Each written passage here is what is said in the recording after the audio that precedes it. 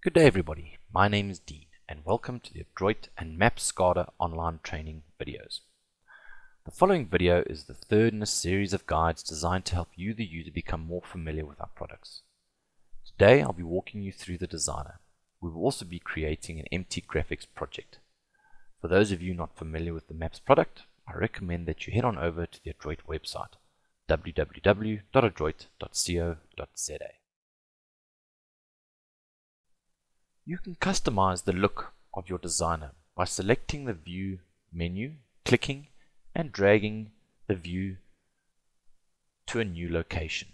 We can then resize this view. Each view can be stacked on top of another one. By double clicking it will return to its docked position. Again double clicking will return the view to the area we dragged it to initially. We can also drag a view and then dock it to a different area within my designer. In this case, to the top of the designer view.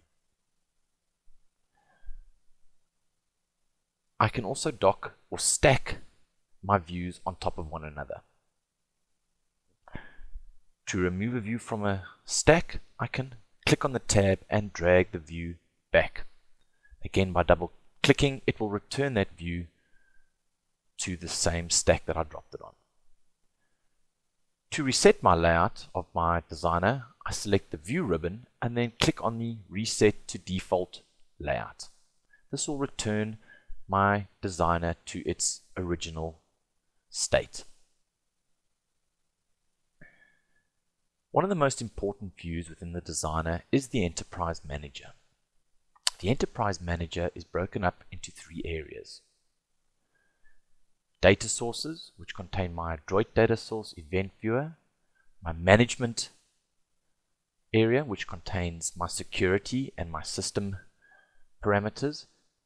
It also contains the graphical projects area. We are now going to create a new graphical project. To do this, I select the Home ribbon and then click on New Project. It will now prompt me for a name. I will type in my project, my plant.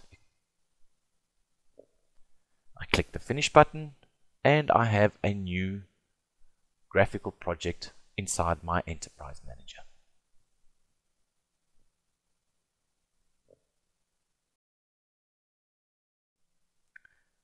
Well, that's it for this video. In the next video, I will be showing you how to create a graphical display. I hope you have found this helpful and I hope to hear from you in the comments section.